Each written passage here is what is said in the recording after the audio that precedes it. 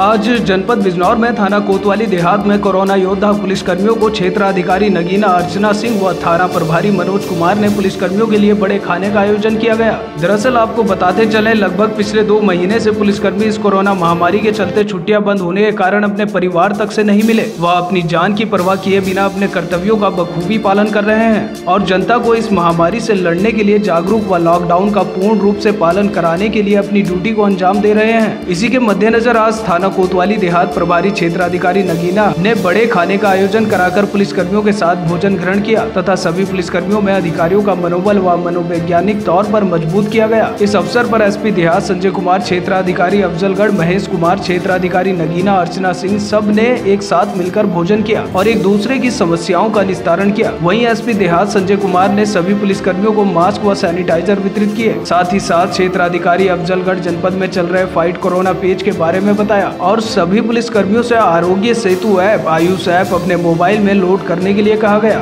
वे जनता को इन ऐप के माध्यम से जागरूक करने का काम करें जिससे घर बैठे जनता की समस्या का निस्तारण हो चुके। रोल है सर।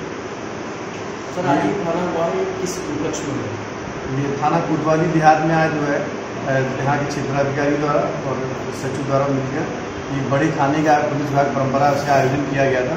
इस संबंध में जो है पुलिस अधीक्षक महोदय द्वारा कल बताया गया था, जो कि कोरोना की पिछले काफ़ी समय से लगातार जो है कोरोना बीमारी चल रही है।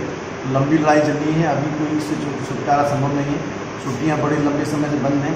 पुलिसकर्मी अपने घर भी नहीं जा पा रहे, बच्चों की देखभाल नहीं कर पा रहे, मनोवैज्ञानिक रूप से उन्हें मज़बूत करने के लिए और उन्हें ये दिखाने के लिए विभाग के अधिकारी और कर्मचारी सभी एक ही काम कर रहे हैं। सभी का एक ही उद्देश्य है।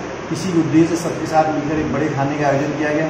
इसमें सारे सी ओ सी अफजलगढ़ भी आए हुए हैं सी ओ नगीना है, मैं हूँ सचिव हैं सब लोगों मिलकर एक साथ खाना खाया गया, प्रेस मीडिया के इस वर्गों को बुलाया गया, सबने खाना खाया, उनके संवाद स्थापित किया गया, बातचीत की गई, उनकी कोई परेशानी है, घर की परेशानी है, छुट्टी आदि संबंध में, कोई भी बात है, वो उससे समझी गई, उनकी समस्या का निदान किया गया।